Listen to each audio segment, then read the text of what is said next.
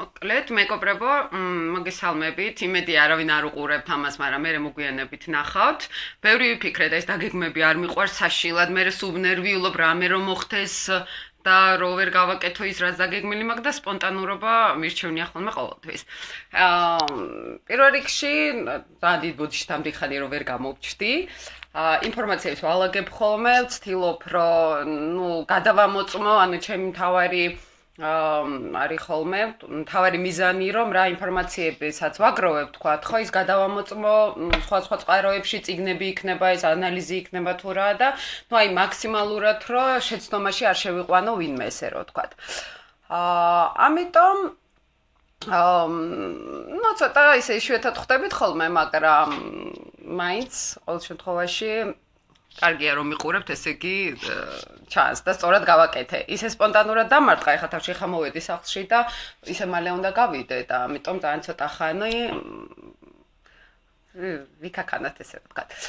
ხო, ეხლა ძალიან ბევრი თემები არის, რაც სხვა შეიძლება ბოლო სემინარიდან დაგვიგროვდა, ამიტომ ვეცდები რომ ერთ კონკრეტულ საკითხზე შევჯერდეთ ახლა. ძირთადად, ნუ მოდით მისიები გავიაროთ ახლა და კარმული ურთიერთობები, უბრალოდ განსხვავებული კუთხით, ნუ აი ახალი ინფორმაციებით, ესე რომ ვთქვათ. აა საერთოდ რა არის მისია ადამიანის მისია ხო ნუ ეს ასტროლოგიაში ჩანს ძალიან კარგად ასევე ჩანს ნუ ნუმეროლოგიაშიც ანუ ერთ და იგივეს ლაპარაკობს ყველა მე რაც მინახავს და რაც გადამიმოწმებია საერთოდ არის უბრალოდ ერთი მარტივი რამ. მინდა გითხრათ ჩემი ამდენი კვლევებით რაც თქვათ დავასკვენი. აი არის ასტროლოგიაში თქვა კარმული კვანძები, ხო? და ანუ იუპიტერი ყველაფერი რა მისია გვაქვს? რატო არის ეს მისია? რატო რაში გჭირდება ეს მისია, ხო? აი ამაზეც რო ვეძიე, რად გვინდა ეს ყველაფერი, ხო? მთავარი ის არის, რომ აი ინკარნაციები, ხალბატონი რუსიკოს მეშვეობის სხვა შორის ნახეთ წარსული ცხოვრებები, ხა არავინ არ ვამტკიცებთ ამას, რომ ეს 100%-ით ესეა ყველაფერი, ანუ მაინც ვარაუდების დონეზეა და ლოგიკის დონეზე, ხო? ანუ აი რო შევაჯამოთ ახლა მაგალითად ვნახე ჰიპნოზზე ესა და ეს ხო? წარსული. ვადარებ რუკას. ერთი და იგივეს ამბობს ვადარებ ნუმეროლოგიას. ვადარებ იქ სხვადასხვა ეზოთერულ პრაქტიკებს. ვადარებ ჩემს ფსიქოლოგიას ხო? ანუ როდესაც ერთი და იგივეს გეუბნება ჩოულებრივი სამედიცინო ფსიქოლოგთა რომ მიხვიდე რა პრობლემები გააქვს და ნახულობ ინკარნაციებს და ისიც იგივეს გეუბნება ანუ ჩემთვის არ არის ნიშნელოვანი ვთქვათ აა იცით რა მომენტი ხა თან მკითხულობ და ბოდიშით რომ მკითხულობ რა თქვენ აწერეს. ხო და მნიშვნელოვანი არ არის ის მართლა მოხდა თუ არ მოხდა.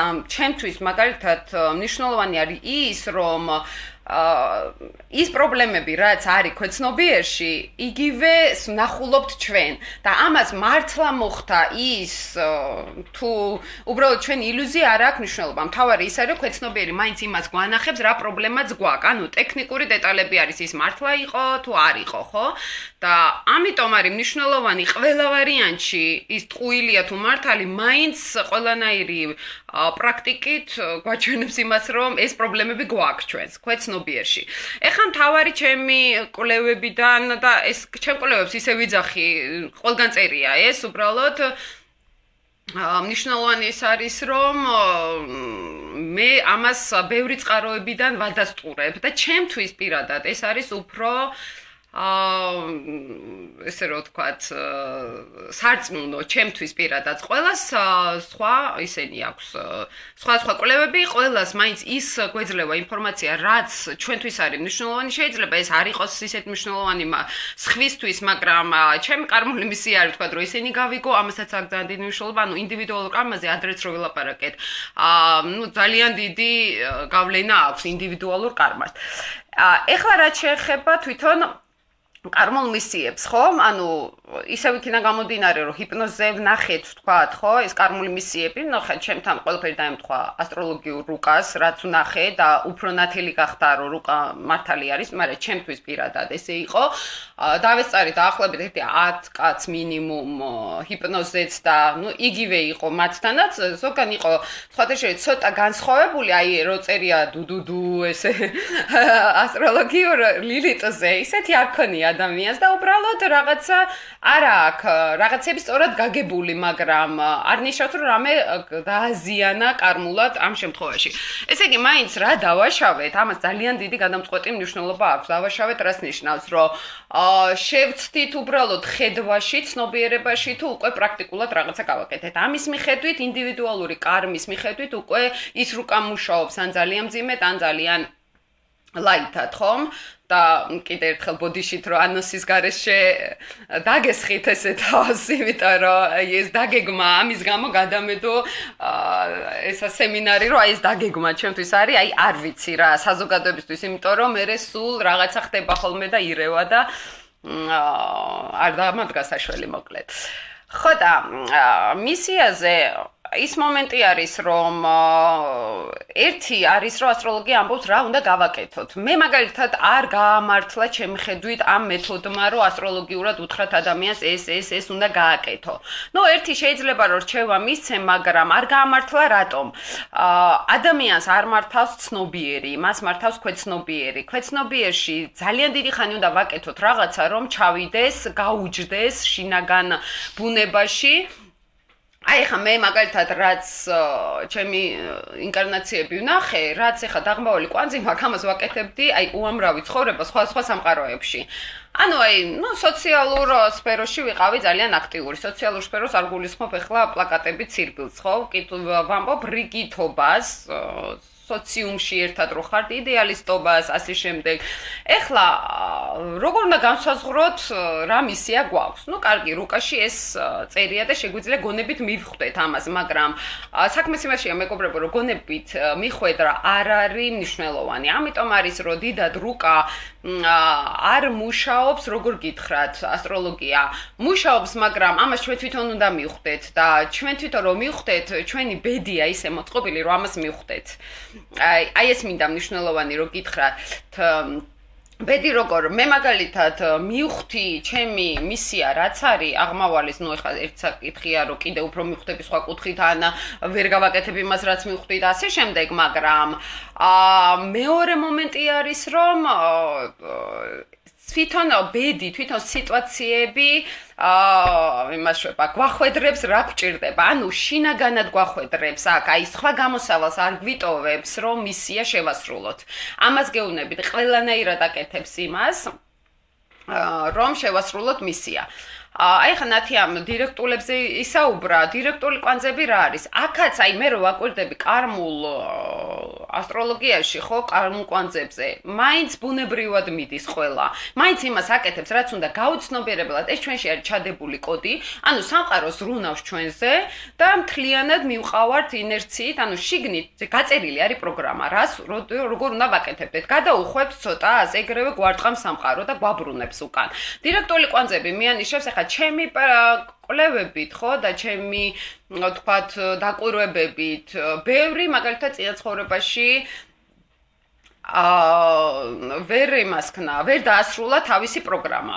აა შესაბამისად, ნუ ან ახალგაზრდა მოკვდა, ან ძალიან დიდი რაღაცა იყო თავის თავზე, ან ისე კიდევ იმ აა იმ ის აინტერესებს ის სფერო, კიდევ არ გაუჯდა ბოლომდე და ეხლა კიდევ უნდა გაუჯდეს. ჩემ დაკვირვებით აღმავალზე არ გადადიან ძალიან დიდ ხანს და თითქმის არ გადადიან დირექტული კვანძების მქონე ადამიანები და ისევ ამუშავებენ თავის ძველ კარმას, ესე ვთქვათ, რაც დასასრულებელი კონდათ. ეხლა ლილიტის და მთვარის შეერთება, ეს არის ძალიან მნიშვნელოვანი ბოდიშით, რომ ყველაფერს ვერ ვკითხულობ, იმიტომ რომ დავიწყო კითხვა, გამეწყდება აზრები და ეს პრობლემა მექნება ესე რომ ვთქვა. ამიტომ ძალიან ისე ფრაგმენტულად შევხედავ ხოლმე კომენტარებს. მთვარე, აი ეს არის კირჩხიბის ზოდიაქოსთვის დამახასიათებელი თვისება. მას აქვს მიჯოჭულობა, ის არის შინდაგანი ქვეცნობიერი, ეს არის დედობრივი ინსტინქტი და როდესაც ლილიც უერთდება ფაქტიურად ლილით კირჩხიბს ვიღებთ აქ. ყოველთვის პრობლემები არის ან დედასთან, ან დედისგან. ეხლა მაგალითად გააჩნია ამავე დროს სად არის ეს ზონები. ეს არის მაინც მიჯოჭულობა, მაინც კირჩხიბისთვის დამახასიათებად კონტროლული ურტყამს ბოდიშით. აა მაგრამ ხო და ჩემი დაკვირვებით ხო აქ ვიღებ ხოლმე ცოტა პრობლემურ მშობლებს, დედებს, ცოტა პრობლემურ აა შვილებსაც თუნდაც მიჯაჭულობა არის დიდი და ნუ ფაქტობრივად იგივე პრობლემები აქვს ხოლმე ფუარელი ლილიტის შეერთებიანებს, რაც ლილიტ მეოთხე სახლიანებს ან ლილიტ კიჩხიბებს. ოღონდ ცოტა განსხვავებულად. ეხა ესე პლანეტის შეერთება ან რაღაც მდებარეობის შეერთება არ არის აა თქვათ ისეთი ძლიერი როგორიც თქვი თვითონ ნიშანში, მაგრამ ყოველ შემთხვევაში მაინც პრობლემებს იწვევს. ეს მიანიშნებს, რომ დედასთან რაღაცა კარმული პრობლემა ქონდა. შეიძლება ისევ დაბრუნდნენ იგივე მშობლები ჩვენს ცხოვრებაში, თუმცა ესეც იცის რომ არ იყოს რაღაცა კარმული პრობლემა არის მშობელთან. ხა დიდი ხანი აღარ მინდა ამაზე შევჩერდე, მაგრამ ძალიან მნიშვნელოვანია მაგას, როგორც კი შევხედავ ხოლმე, ეგრევე ცოტა ხანარი თავარი არის მიჯაჭულობა არ იყოს, არც პარტნიორზე, იმიტომ რომ თვარე შინაგანი ემოცია არის, რომელიც ოჯახში ვავლენთ ჩვენ და გვჭირდება ეს ადაპტაციისთვის გარემოებასთან და აქ იკეტება ადამიანი თავის თავში და ცოტა უჭირს გასვლა სახლიდან, ანუ შიგნით აქ ცოტა პრობლემები და ძალიან მნიშვნელოვანი არის რომელ ზონაში არის ეს ყველაფერი. აა ეხლა რა შეიძლება თვითონ ისევ კარმულ საკითხებს რო დაუბრუნდეს ჩვენი მისია. აა აი ძალიან მარტივი არის თქვა არის აღმავალი ქალწული ხო? აღმავალი კვანძი ქალწული. მუშაობს რაღაც აი უაზრო სამსახურში ერთი და იგივე რუტინას აკეთებს აი რა ხო აი ამითი ხო? რა მნიშვნელოვანს აკეთებს ისე სიამბერში რო დაუკვირდეთ რამდენიმე ცხოვრება მოუწევს ამას აი ესე ერთი და იგივეს კეთება, იმიტომ რომ აი ფიზიკურად ჩანს რომ თითქოს აი ახლა ვაკეთებ რაღაცა უაზროს, ხო, მაგრამ ქვეცნობიერში ეს ჩადის ინფორმაცია, როგორც მსახურება რაღაცა სისტემის მოდი ესე ვთქვა, ანუ აი რომ გადავიტანოთ ცოტა ფილოსოფიურ არსში ყველანაირი სფეროები, ხო, ის დაღმავალი კვანტის გულისხმ, ეს მე აქვს გულისხმ ნიშნებს. ხალწული სფერო რა არის? ეს არის რუტინა, ეს არის ლოგიკა, რომელიც რუტინის შედეგად ჩდება ხოლმე. ეს არის რაღაცა კოლექტიურ სისტემაში ჯაჭვში მონაწილეობა, აი ჭანჭიკი, მოდი ესე ავიღოთ, რაღაც დიდ სისტემაში რა, ის სისტემა ვერ იმუშავებს თუ ჭანჭიკი არ იქნება თითო, ანუ ეს გამოცდილება ფილოსოფიურად რო, ანუ ის კი არ არის მნიშვნელოვანი რო აა ისა აღმავალმა ქალწულმა რუტინულად რაღაცა უნდა აკეთოს. თვითონ ის სფერო კი არ არის მნიშვნელოვანი. იმ სფეროს შედეგად ქვეცნობიერში რა ინფორმაცია მიიღება, რა გამოცდილება მიიღება, ეს არის მნიშვნელოვანი. ჩვენთვის ეს ძალიან მნიშვნელოვანი არის ყველას რა მისიაც აქვს იმის მიხედვით. აღმავალი სასწორის მის შემთხვევაში რა არო? დაღმავალი ვერძები ხარ. დაღმავალი ვერძების პრობლემა რა არის? ძალიან ეგოისტები არიან. აა დადებითი თვისებები მე მაგათში მომწონს. გულწრფელობა, ძალიან გახსნილები არიან, გულითადები არიან. ეგრევე პირდაპირ არც ფიქრობენ შე რა შეიძლება შეხედულება გქონდეს თორემ ვერც აღიქვამენ რომ სხვები უსმენენ კაი კუთხით. ანუ მე როგორც ვერძის რაღაც ისენი რომ აქვს, მომწონს ეს მათი თვისებები, მომწონს ფიზიკური ენერგიულობა, დაუღლელები არიან, ინიციატორები არიან რაღაცებში და რომ დაждდები ხა ჯგუფში ერთი თუ დევს ხმას არ იღებს. ეს არის აღმავალი სასწორი, იმიტომ რომ ყველას უსმენს და ვინც აქტიურობს და გაჯამჯღერებს ხალხს, ეს არის დაღმავალი ვერძი. ანუ პოზიტიური არის ეს, რომ ძალიან ენერგიულები არიან და ძალიან ლიდერული უნარები აქვს, მაგრამ ნეგატიური არის, რომ შესაძლოა შედეგად არავის არ უსმენენ. არავის აზრი, ანუ გან არ უსმენენ, რომ არამე თხისქულად კი არა, რომ არ მინდა ამის გაკება. არ მოსდით თავში, რომ ხუებს შეიძლება სხვა ინტერესები ქონდეთ. ანუ ზედმეტად თავის თავზე არიან კონცენტრირებულები. აი მაგალითად აღმავალ ვერძებს მე ურჩევ ხოლმე და ანუ ყველა ასტროლოგიაში ეგრე არის. ფიზიკური ვარჯიში ეხლა სხვა შორის დარბაზში ვიყავი. მაგიტომ არის ეს დაკოქილი ეს რა რა გავაკეთო მეთქი და მოდი ეხლა ჩავერთებით ხო. ანუ ფიზიკური ენერგია მოგდის ხო? აა ვარჯიშის დროს ფიზიკური ენერგია რას ნიშნავს? ეხა არავის არ უყურებს შენ თვითონ ვარჯიშო ფიზიკურად, ხო? დარბი ხარ რაღაც, აქ ძლიერდება სხეული. ქვეცნობიერი ამას აღიქვამს, რომ კონცენტრირება ხდება საკუთარ მეზე, საკუთარ თავზე. და აი ეს გამოცდილებაც ქვეცნობიერში იწერება როგორც ლიდერული უნარები. ასე რომ ვისაც ეს ჭირდება, ლიდერული უნარები, ხა ის კი არ არის რომ ახლა წაუძღვე რაღაცას, ხო? აა ცოტა ხანაი ლიდერულ უნარებს ვამბობ, როდესაც შენ ძალებზე ახდენ დამოკიდებულებას, შენ ძალებზე ახდენ აქცენტირებას და ეს ძალები მე რაღაცაში გამოგადგება მომავალში, სადაც შენ უნდა იყო წინ. იქ უკვე შენ ხარ წინ და აღარ ფიქრობ ეს თავში დაურწმუნებლობა აღარა გაქვს ესე რომ ვთქვათ. ამიტომ ყველაზე მთავარი ის არის რომ ვიცოდეთ რაღაცა ფიზიკური აქტივობა ქვეცნობიერში ამას ფილოსოფიურად როგორ გარდაქმნის და ეს რა გამოცდილება გვაქვს შემდეგ ჩვენ აქედან. აი ეს არის ძალიან მნიშვნელოვანი. სხვათა შორის აი ის რომ ქვეცნობიერში იწერება ხანგრძლივი მუშაობა რაღაცაზე და ეს არის გამოცდილების სახე. შეიძლება ჩვენ 5-6 ცხოვრება ერთი და იგივე ვაკეთოთ ძალიან სისულელი, აი რო გაგვეცინოს ჰიპნოზე რომ ნახოთ წარსულში რა არაფერს არ ვაკეთებდიო, მაგრამ ეს ქვეცნობიერში გადადის აბსოლუტურად სხვა გამოცდილებაში და ერთ-ერთ ცხოვრებაში და პერიოდულად ჩვენ ძალიან გამოგვადგება ეს. ამიტომ რო ეუბნები ადამიანს რომ აი შენი მისი არის ეს და ეს ის თუ ბედმა არ მიიყვანა იქამდე და რუტინულად აკეთა, მაგრამ არ გაიაზრა ეს რატო ჭირდება. არა აქ ამას მნიშვნელობა რატო აქ ანუ მაინც მოუწევს ამის გააზრება მაგრამ მე შემთხვევით ხარ როგორი მომენტი რომ ეუბნები ადამიანს ეს და ეს უნდა გააკეთო მაგრამ არ აკეთებს. ამასაც რომ შინაგანი ორიენტაცია სწორი გქონდეთ და მიუყვებოდეთ ჩვენ აღმავალ კვანტს, ამასაც ენერგია ჭირდება. ინკარნაციული ენერგია, რაღაც დონეზე სუფთა კვანძი, აღმავალ მორილზე გეტყვი ეხლავე. სუფთა ენერგეტიკა გჭირდება, რომ ჩვენი ორიენტაცია არ იყოს დაჭtildeული ეგოთი. როდესაც ეგოთი არის დაჭtildeული და ცოტა არა ну პრობლემური კარმით მაშინ ნაკლებად ადიან ხოლმე აღმავალ კვანტზე ადამიანები აი მე მაგალითად რო ვუკვირდები აი სულ მერყეობთ აღმავალსა და აღმავალს შორის სულ მაინც გამოცდილებას ვიყენებ წარსულიდან მაგრამ არ ნიშნავს რომ თლიანად ჩვენი მისია არის რომ თლიანად აღმავალზე ვიყოთ მაგრამ ერთი მინდა ძალიან მნიშვნელოვანი კითხრათ რომ ყოფილი ადამიანი ხარ აი ცნობილი ადამიანების რუკებს რო უყურებ რომელიც მოგვიტყვნენ 1200 წლის წინ ხო? ანუ კარგად რო ვიცით მათი ბიოგრაფია.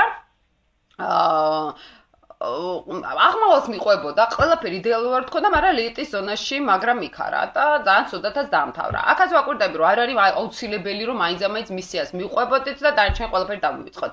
ეს არის ერთ-ერთი აღმავალი კვანძი, მაგრამ მთავარი არის კიდევ სხვა ფაქტორები, რომელიც აი მოდი გადავდოთ ასტროლოგია და ხო ელემენტარული არის მორალური პრინციპები. საზოგადოება ძალიან გვეხმარება ჩვენ რომ მოვერგოთ საზოგადოებას, ვისწავლოთ რაღაც რაღაცეები, რასაც სხვა შორის ახლა ასტროლოგია ვერ გეტყვით რომ ზრდილობა გქონდეთ თქო ხო? ახლა ლილიტ ლომებს ქალებთან რო აქვთ ხოლმე რაღაც საოცარი ლოგიკა, სიტყვაზე ხა ვერ გეტყვის ასტროლოგია ნაბიჯ-ნაბიჯ როგორ მოიქცე, ხო? ამას ხა ცხოვრება გასწავლის, ან ნუ თუ ჯიუტი ხარ, ჯიუტს რას გულისხმობ? ადრიან ადამიანებს როცა არიღებენ უბრალოდ გაკვეთილებს ცხოვრების, არ ტყამთ სამყარო მუდმივად, მაგრამ მაინც არ ესმით. თქოშის მეც მაგ ხოლმე ეგეთი მთვარე თხის ხავარ და ძალიან ბევრ ჯერ შეიძლება დამარტყა სამყარომ და მაინც ვერ მიხვდე ხოლმე. ანუ ვის როგორ ჭირდება ცოტა შეფოცხუნება, მაგაზეც არის ხოლმე. აა მაგრამ წავიკითხე ხა რაღაცა და მომივარდა თავიდან. რას ვამბობდი? დავიწყდა. აა ხო და მეცა გავიხსენო ერთი წუთით. ეხა წავიკითხე უცებ რაღაცეები და გაფრინდა ჩემი იდეები. პარდონ. ну кай გადავალ სხვა თემაზე. ну კარმულ კვანძებზე ხო ხო ხო ხო გამახსენდა ხო და ну არის სოციუმი რომელიც გვეხმარება ამაში და ძალიან მნიშვნელოვანი მესიჯები არის ხოლმე საზოგადოებისგან ჩვენ როგორ ვიქცევით. არა მარტო ჩვენზე დარტყმას და იმას გულისხმობ, αλλά იმიტომ რომ უყურებთ ხო ადამიანებს, უყურებთ მათ ცხოვრებას. ანუ ძალიან დიდი გაკვეთილია და დიდი სკოლა არის დედამიწა ჩემი აზრით და საზოგადოება, სოციუმი და შეგვიძლია ძალიან კარგად დავაკვირდეთ ჩვენ ცხოვრებას, ანალიზი ვისწავლოთ უბრალოდ, ვისწავლოთ ცოტა ლოგიკური აზროვნების უნარი, ანალიზი, აი თქვათ, რომ რა ნაბიჯებს ჩემსაც რა რა მოყვა. აი ანალიზი წარსულის, ანალიზი სხვებისაც მაგალითად და ამის შემდეგ ხო აი ეს ახლა რელიგიაში წერია ქრისტიანობაც გვეუბნება ბევრ რაღაცებს. ხო იცით როგორ არის ქრისტიანობაში ცოტა ფართოდ არის აი დეტალიზირებული არ არის იქ მაინც და მაინც რო როგორ უნდა იქცევიდან ყოველ შემთხვევაში მე ვერ გავიგე. აა როგორც აი ეზოთერული თანამედროვე ეზოთერიზმი ლაპარაკობს ამაზე რომელიც ყველა ჩვენი აზრიც კი და ფიქრიც უკვე ძალიან მნიშვნელოვანი არის. აი რელიგია ცოტა ფიზიკურ აქტიურობ ცვლილებებს ზღუდავს ადამიანში. ნუ ეს ცოტა ისეთი სხვა სფერო არის, ხა ისე კონკრეტულად უკვე შინაგან ემოციაზე ვერ გააკეთებენ, ხო, აქცენტს და აი ეზოთერიკა მე მაგიტომ მომწონს, რომ უკვე შინაგან ბუნებაზე არის, აქ ცვლილებაზე. ანუ ზედაპირული კი არ არის, მაგრამ ის ზედაპირულობა ჭირდება ხალხს, ხა ყველას ვერ გაგებინებ, ხო, შენ რო შენ ფიქრი რამ ნიშნავს? ანუ ასე ღრმად ვერ ჩახედებ. ამიტომ არის ეგზოთერული რელიგია. ეგზოთერიზმი ნიშნავს ფართო იმის საზოგადოებისთვის.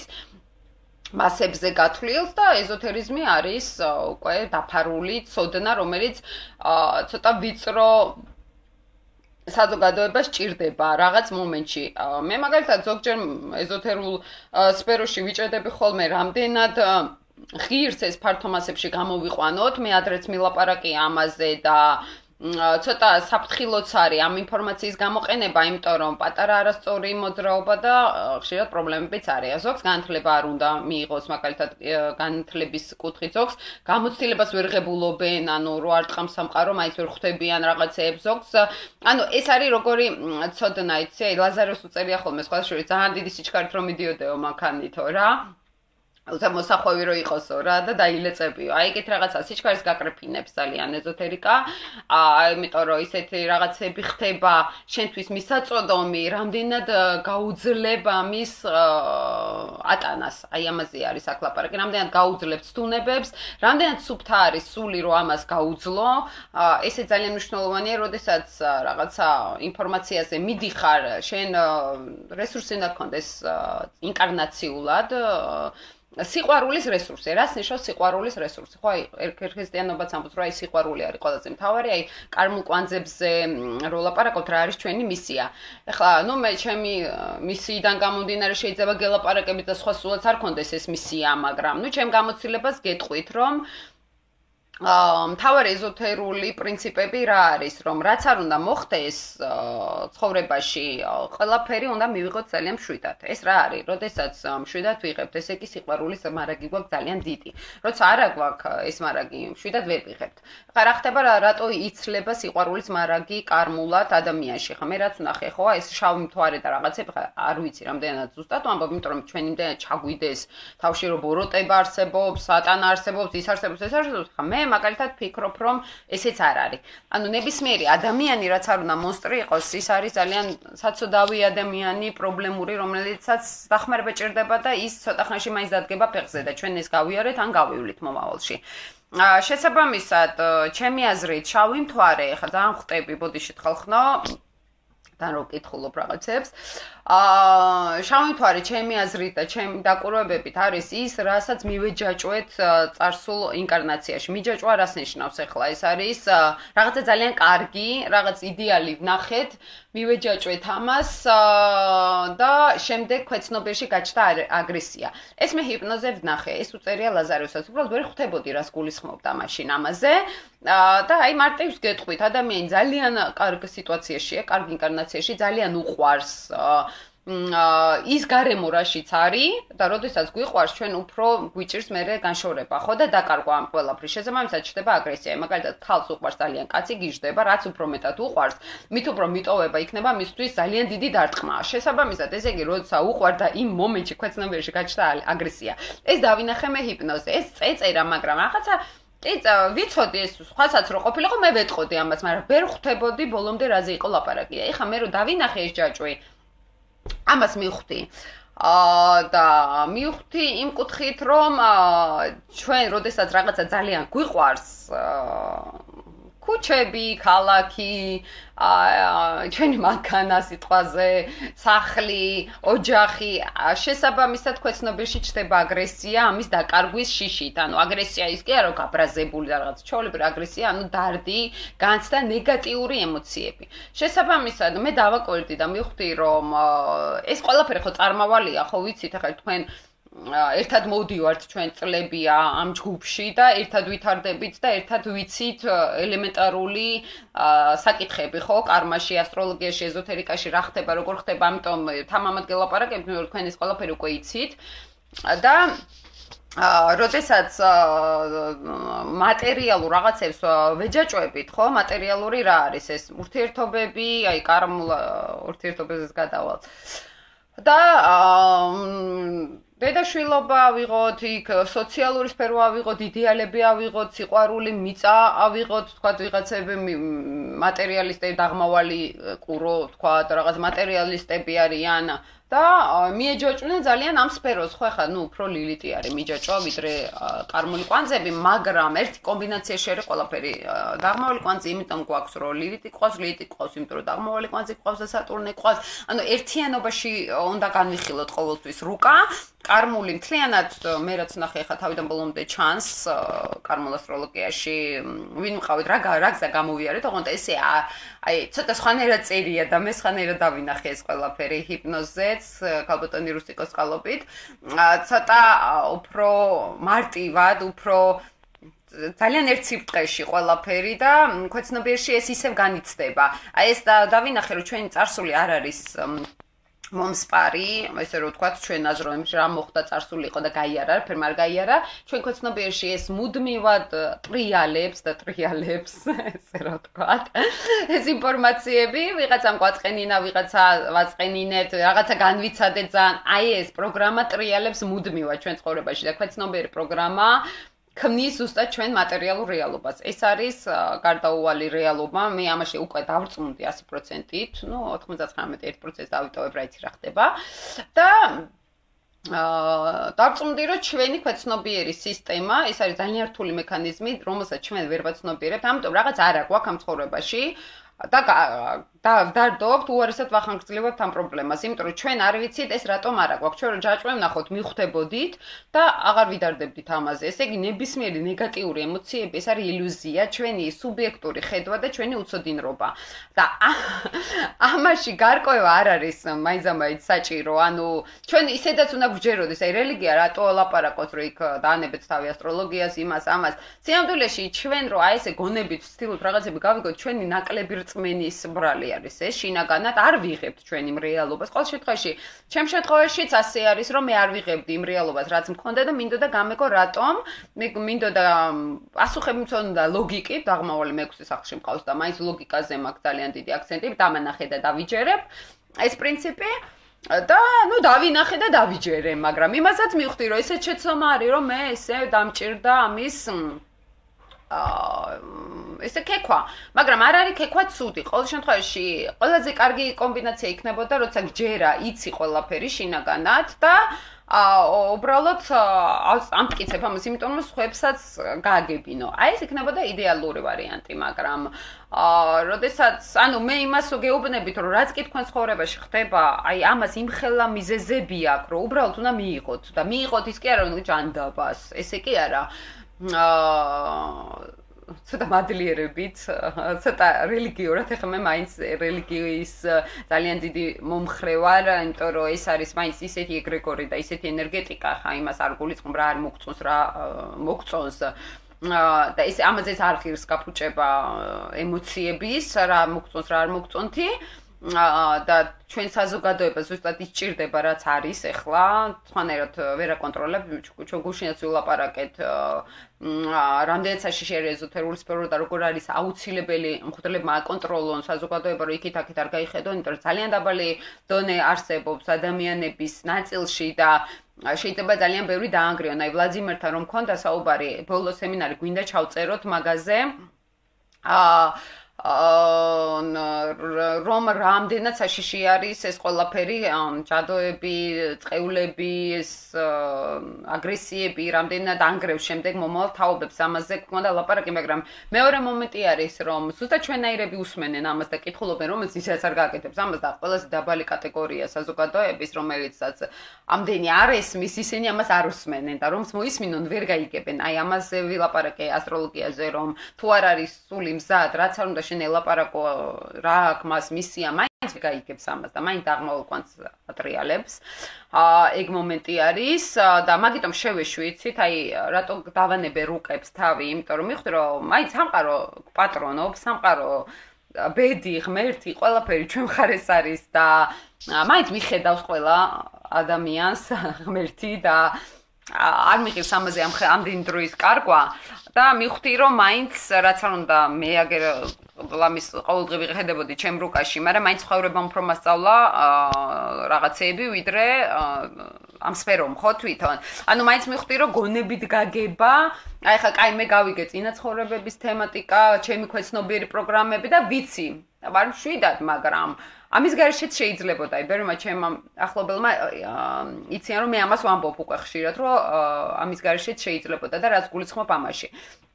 ეზოთერიკაში არის მთავარი პრინციპები: მადლიერება, სიყვარულის გამოხატვა, მინდობა სამყაროზე, ანუ 10 მცნების თემატიკა რო დავიცვათ და თავისთავად მოგვარდება დანარჩენი ყველაფერი. ესე იგი, ეს ლოგიკა და ცოდნა, კი მე გავიაზრე რაღაცეები, მაგრამ სანამ ეს ქვეცნობიერში ჩავა, რამდენი რამ უნდა მოხდეს, არ ვიცი. ამიტომ ინტელექტით ვერ შველით რაღაცეებს, რა, შველით რითი, სიყვარულით, ემოციით, გულით. ხომ და ეს ისედაც შეგვიძლია ჩვენ ვაკეთოთ. კონკრეტულად რო არ ვიცოდით რა პრობლემა გვაქვს ან თუნდაც ფსიქოლოგი რო ავიყვანოთ ის ის რაღაცებს გვეთყვის აა ნუ მე ცნობის მოყარე ვარ და მე მინდოდა გამეგო. აი რატომ? როდის? რისთვის მაგრამ. არ არ არის თქო ეს საჭირო ამას გულისხმობ. აა ეხა ასტროლოგია კიდე რა კუთხით გვეხმარება? ჩვენ აი თუნდაც გვეხმარება რა აი ვინც მაგალითად აი ძალიან ღრმ სიღრმისეულად უნდა რომ ისი ნეგატიური თვისებები დაინახოს ხო? მაგრამ აქაც ხო გეუბნებით აი გვეხმარება მაგრამ არის რომ ამის გამგონი ვინმე? აი ეს კიდე ცალკე თემა არის. აი ვაწყდები ადამიანებს რომ მარტო კარგი უნდათ რომ ელაპარაკო. რო ეუბნები რომ ეს პრობლემა გაქვს ეს ცუდი თვისება გაქვს აი ეს ხელს გიშლის არ არისმენენ არა აინტერესებთ ან აიგნორებენ საერთოდ. და შესაბამისად უკვე ვეღარ ხედავ ამის მიზანს რომ რატომ უნდა დავიხარჯო ესე ვთქვათ ადამიანზე, რომელიც ის არ არის მზად ამისთვის, ასე რომ ყოველს თავისი ცხოვრება, ყოველს შეიძლება არც არის საჭირო, ხომ მე წინა ცხოვრებაში საერთოდ არ მაინტერესებდა ეს სფერო, ხო, იმის წინაშე ცოტა მაინტერესებდა. ვის რა ჭირდება? ამაზე არის. ერთადერთი მე მივხვდი მთელი აი ამ ჩემ მოღვაწეობის განმავლობაში, რომ ყველაზე მთავარი არის, რომ ყოველ მომენტში, ყველგან, ყოველთვის გაუშვათ სიყვარული და ის კი არის გათახსირებული ესეთი და ესეთია, მაგრამ მე მას პატიობ. ეს არითლება. არანაირად. ანუ, ცუდი სიტყვები, გათახსირებული, ესეთი, ისეთი, ეს არ არის სიყვარული, ეს არ არის მიტევება. მიტევება არის ის, რომ როდესაც ხედავთ რომ ადამიანი ძალიან არასწორად გვექცევა, ხო? შინაგანად ვიცოდეთ რომ ეს მისი ბრალი არ არის. მას 1000 მიზეზი აქვს ამისთვის, რომ ესე იყოს და ჩვენ შეიძლება უარესებით გვაგაკეთებული და შესაბამისად ხვდები იმასაც, რომ არავინ არაფერში არ არის დამნაშავე. ის ადამიანებს, აი, რომ ამბობდი ხოლმე ადრე რომ მივიზიდეთ ესეთი, იმიტომ რომ იმიტომ. აი, ეხლა ხვდები ეს რას რას გულისხმობენ ამაში, რომ წერენ.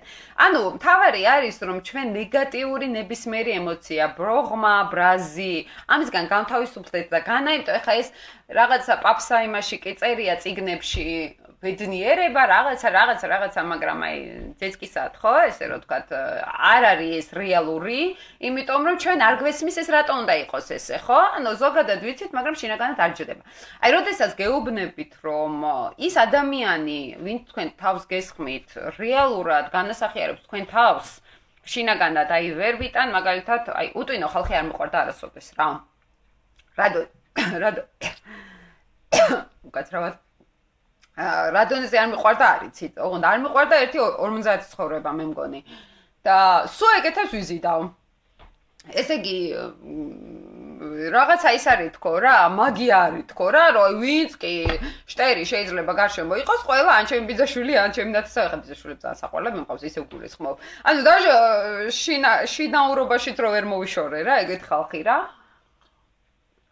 და ეხა რო ამბობე ხოლმე მსგავსი მსგავს იზიდავს იმას კი არა რომ მეც უტინო ვარ და უტინოები მივიზიდე ზუსტად იმას ეხა მეც რო უტინო ვიყო იქნებოდი ძალიან კომფორტულად უტინო ერთად იმიტომ რომ ნუ კაკ კანფიეთ ხო მაგრამ ზუსტად ის არის რომ საპირისპიროს ვიზიდავ იმიტომ რომ ისეთივე აგრესია მაქვს მათ მიმართ როგორ აგრესიასაც ისინი ავლენენ ჩემს მიმართ ხო ანუ აი ამ ლოგიკას როგორც კი ჩაჭდებით რომ იმუშაოთ თქვენ თავზე რომ აი ეს იმიტომ ხდება ასე რომ ესია საჭირო ხო? და ამ ეს გავაანალიზოთ აი შემდეგ უფრო მარტივი არის ეს პატიებაც გაგებაც და ხვდებით რომ საკუთარ თავს უფრო უნდა ჩაუღრმავდეთ ვიდრე ხვის ცუდის ანალიზი ვისწავლოთ საქართველოს ხო ყველა ერთმანეთს ხოცავს და ერთმანეთს ცუდს ეძახის ამიტომ არის ცოტა დაბალ დონეზე ვართ ჩვენ ინტელექტუალურად სხვათა შორის და აა ბოდიში ახლავე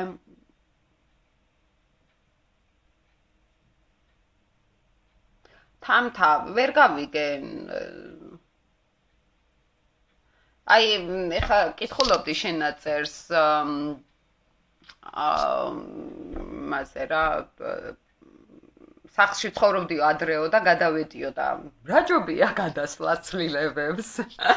დაი კიდე ხეს ეს ძელი ცხოვრება ახალით დაიწყე ცხოვრება. მე მაგალითად ისე მინდა ხა სახლი შეცვლა, რაღაცები შეცვლა.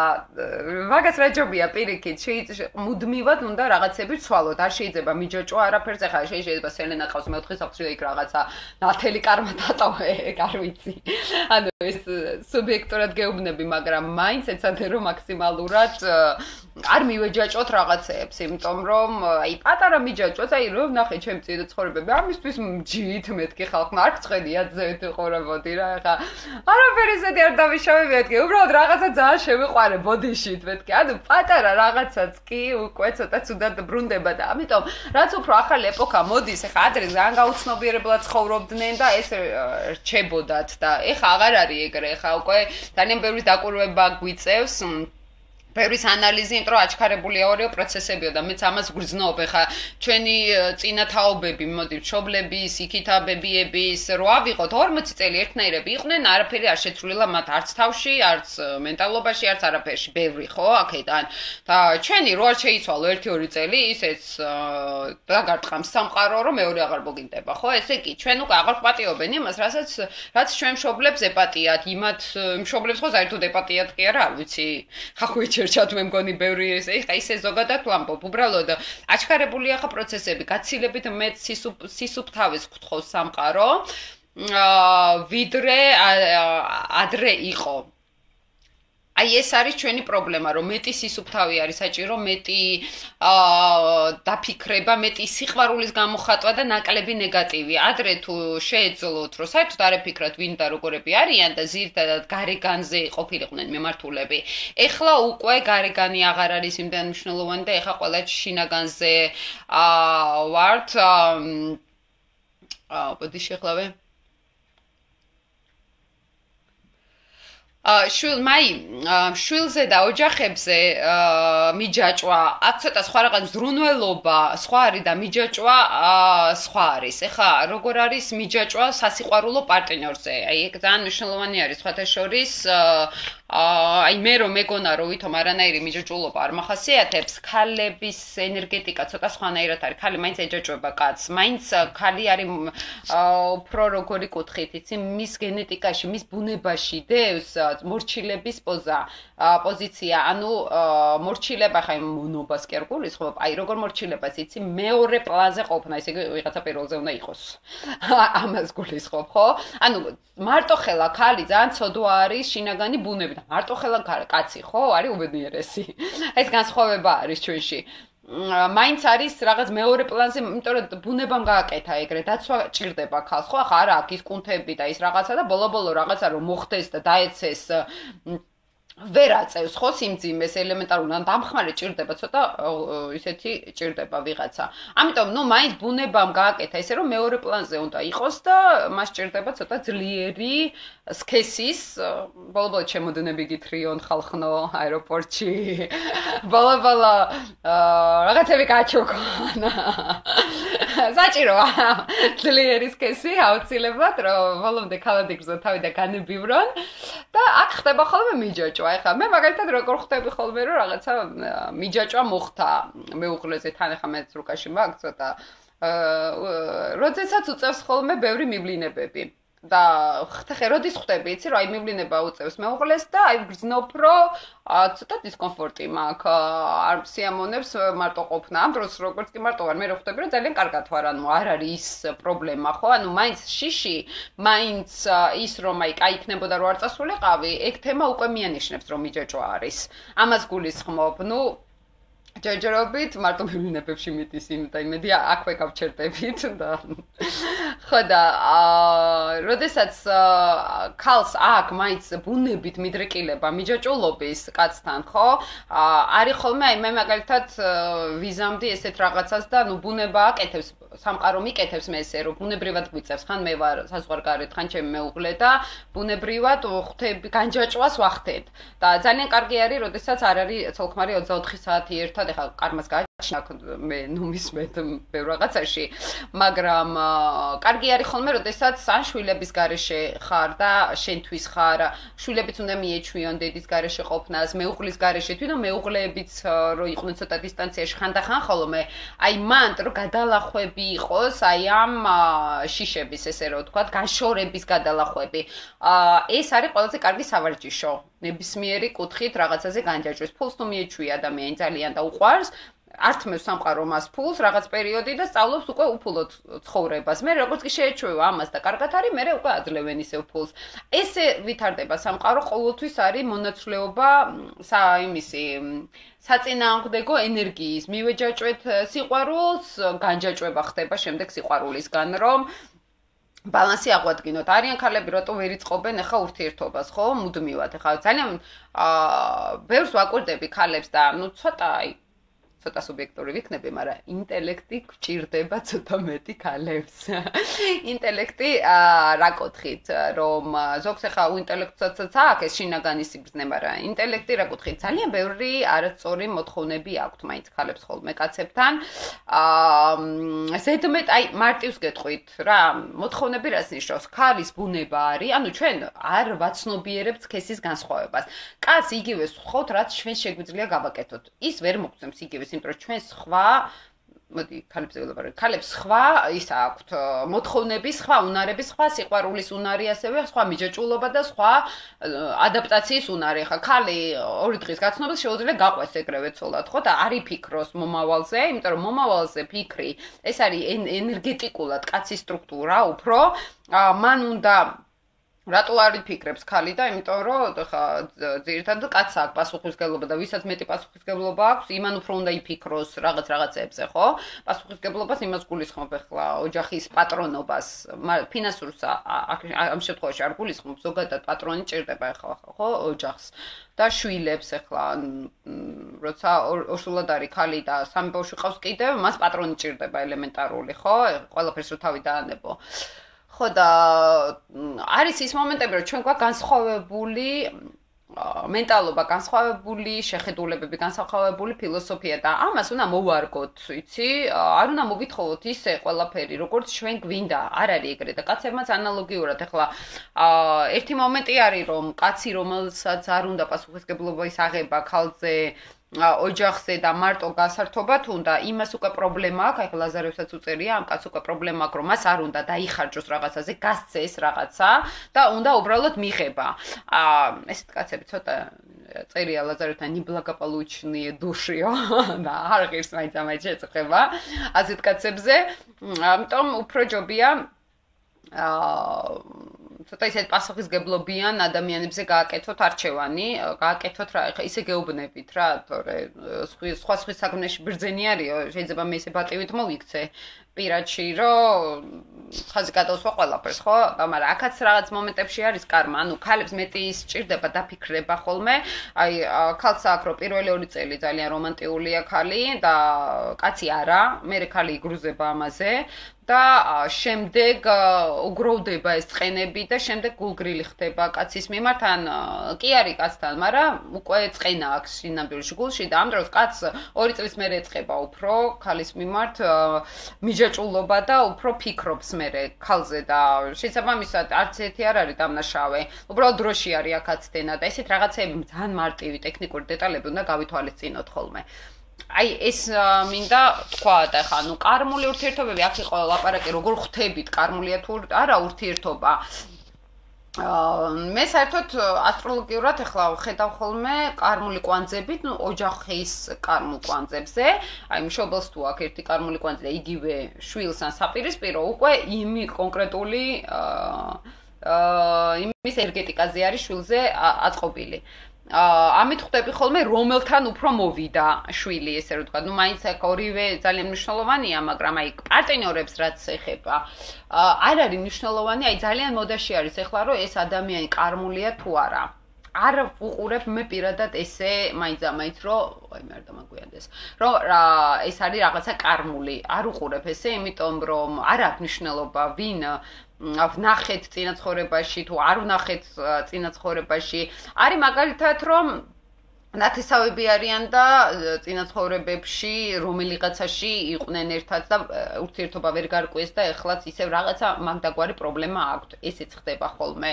ანუ ჩემ დაკვირვებით ჰიპნოზზე ვინც ნახა რომ ვიღაცა არ ევასება მაგრად სინამდვილეში იგივე ემოციები ქონდა წინა ცხოვრებაშიც მასთან, ამ ადამიანთან. ანუ რო არ ვიცით რატო არ გვევასება, მაგრამ არ გვევასება, ხო? ეს რომელიღაც ნათესავი ან ვიღაც ტიპი იგივე ქონდა წინა ცხოვრებაში. როდესაც ესეთი გზნობარი რომ ვიღაცა ძალიან არ მოგწონს, უნდა ვეცადოთ რომ ეს შევცვალოთ, რომ ისევ არ გადავიტანოთ მომავალ ცხოვრებაში ესეთი ემოციები. რაც შეეხება სასიყვარულო ურთიერთობებს, საერთოდ კაცები ასწავლიან ხოლმე ძალიან კარგად ქალებს რომ მიჯეჭულობა რო არ კონდეთ მოთხოვნები რო არ კონდეთ ხშირად ქალს აქვს ძალიან დიდი ამპარტავნება და ამბიციები და მე დავაკვირდი და ქალს მეტი სიყვარულის გაცემა, აი, ლაზერვი ამბობდა ხოლმე, რომ ქალს უფრო მეტი მოეთხოვება, უფრო მეტი, ანუ ქალი ამპარტავანი ეს უკვე პრობლემა არისო და კაცი არაო რა და ნუ ცოტა ის უსიამოვნო მოსასმენია, მაგრამ მე რო გავაანალიზე ეს არ ნიშნავს რომ პრობლემა არის, ეს ნიშნავს იმას, რომ ქალი მაინც მეტად სიყვარულზე არის ორიენტირებული, ვიდრე კაცი. კაცი არის იდეალისტი, ქალი არის სიყვარული, ხო? თავიდან ბოლომდე ხა კაცს ვერ მოთხოვ იქვითინებს და ძიდით სიყვარულებს არ მოუხდება უბრალოდ შეშინელება იქნება, ხო? მაგრამ კაცი უნდა ერკვეოდეს პოლიტიკაში, იდეალისტურ საკითხებში, ფილოსოფიაში, ანუ ის უფრო უნდა აზროვნებაზე იყოს ორიენტირებული და ხალი გულზე, ხო? და რატომ ახლა წარმეთქინეთ შვილი რო უნდა დედასთან ჩახუტება და დედა მოიცა შვილო და რო დაიწყებს ახლა ფილოსოფიას, ხო? ანუ შვილს დედისგან სირთვე ჭირდება. ეს გადარჩენის ინსტინქტია, გამრავლების ინსტინქტზე არის აქ და ანუ ცოტა ისე უნდა შევეგუოთ რა, არ უნდა ვიყოთ ეს ემანსიპაცია და რაღაცა საოცრებები რო არის, ხო? არ უნდა ვთქვათ უარი იმ ბუნებაზე, რაც ჩვენთვის ძალიან მნიშვნელოვანი არის და ამაზე კარგი რა უნდა იყოს, ხო? ანუ ესეთი ემანსიპაცია, რომ ჩვენ ვართ მაგრები და ისინი ბანძები არიან, მე ეს არ მესმის, მე მესმის, რომ კაც ეს თავის ღირსება, ქალს ეს თავის ღირსება და აქედან გამოვიყვანოთ რაღაცა კარგი ურთიერთობა, ხო? და თანასწორი აა ბრძნული ურთიერთობა, მოდით ესე ვთქვათ. და როდესაც ახლა ქალს მეტი აქცენტი აქვს სიყვარულზე, ახლა ამპარტავანი ქალის სიყვარული, როგორ წარმოგიდგენიათ, ხო, თქვენ, რომ ანუ მაინც ეგოზე რო აქვს ძალიან დიდი აქცენტი და ზოგჯერ აი ამ ეგოს დასახშობად მოდის ხოლმე. კაცი ხშირად ხა კაცებზე არ ვლაპარაკობ ხა დრეთ სემინარზე ვლაპარაკე ხა გამწარებული და დარდიანი და მიტოვებული კაცი სადგინახიათ ხო ხა. ნუ კი არიან ხოლმე მაგრამ ორ წუთში კარგად არიან მაინც ესე რო ვთქვათ. ამიტომ უფრო ქალებზე მაქვს ხოლმე აქცენტები რომ ხშირად ხდება აი ამ ეგოს დამცირება ხოლმე, რომ სიყვარულზე უფრო იყოს აქცენტირებული ხალი. აა უფრო უბრალოდ უნდა მიიღონ ესენი ხა მეც მქონია პრობლემები ხო, რაღაც მაგდაგვარი ნუ შეიძლება თვალთ ეგეთი არა, მაგრამ ნუ ვიცი რაზეც ვლაპარაკობ, რომ ცოტა უნდა მივიღოთ, რომ ეს არ არის ესეთი თემები, რაღაცა უბედურება, დამცირება. მე მაგას საერთოდ არ მოვიაზრებ ეგრე ურთიერთობებში პრობლემებს, რომ რაღაცა დამცირება არის. უფრო გულისხმობ იმას ხოლმე, რომ ეს ჩვენ გჭირდება ეს მომენტი და არ ნიშნავს მაინც-ამაინც კარმულ ურთიერთობას. ეხლა შეიძლება მეუღლე არ ყავდეს ნანახი წინაცხოვრებებში, მაგრამ სულიერ სამყაროში გავიცანით ეხლა ჩვენ ერთი ძალიან მნიშვნელოვანი რო სანამ დედამიწაზე ვიყავით და მე კიდე უნდა მოვიდე ჩუალეთში, ჩვენ ცხოვრობთ იქ ზევით სამყაროში. რა იცით ხა რა ნაცნობები ნაცნობობას აქ ადგილი იგზევით სამყაროში ხო? და ვინები ყავს თქვათ ხო?